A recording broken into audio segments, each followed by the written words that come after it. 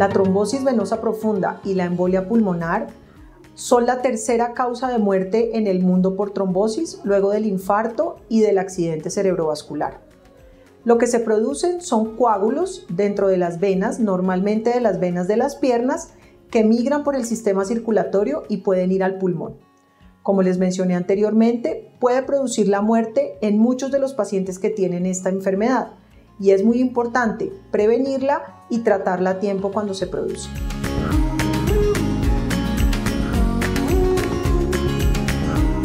Es posible prevenir la aparición del trombo.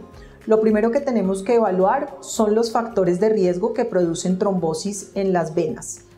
Los principales factores de riesgo incluyen las hospitalizaciones, tanto por temas de cirugía como por temas médicos. Y es muy importante cuando están en el hospital evaluar cuál es el riesgo de trombosis de cada paciente y tomar las medidas necesarias para prevenirlo.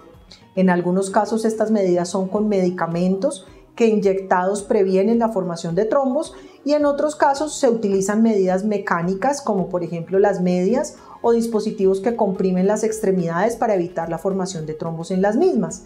Es muy importante que ustedes le digan a su médico que evalúe el riesgo de trombosis en el hospital para tomar las medidas de precaución.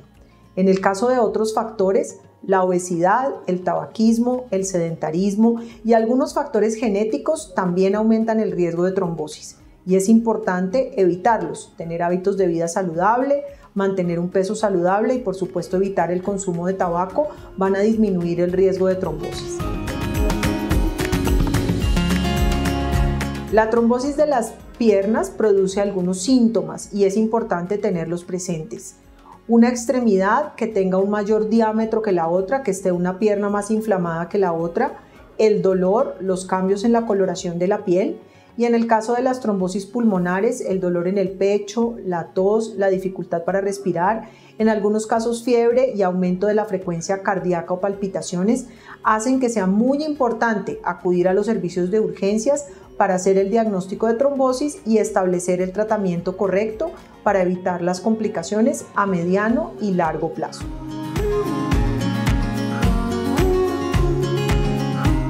El tratamiento de la trombosis venosa incluye medicamentos que hacen que la sangre se vuelva más líquida. Con esto evitamos que el trombo se extienda dentro de la vena y en el caso de las trombosis de las piernas que el trombo migre por el sistema venoso y se vaya para el pulmón. Estos medicamentos que ponen la sangre más líquida se llaman anticoagulantes. Existen en diferentes versiones. Tenemos anticoagulantes inyectados y tenemos anticoagulantes tomados, dependiendo del tipo de enfermedad, de la causa de la misma y por supuesto del momento del tratamiento, vamos a definir cuál de estos medicamentos utilizar. Lo más importante, acudir a tiempo al médico en el caso de sospecha de la enfermedad y por supuesto que sus médicos instauren el tratamiento tempranamente para evitar las complicaciones.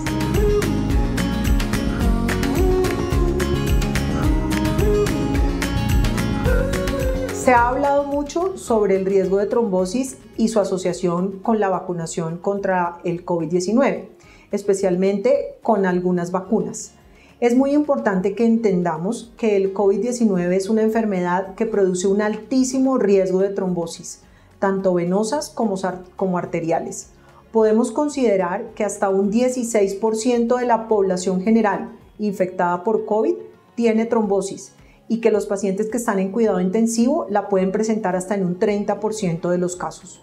Por tanto, el riesgo de vacunación y su asociación con trombosis es cercano al 0.004%.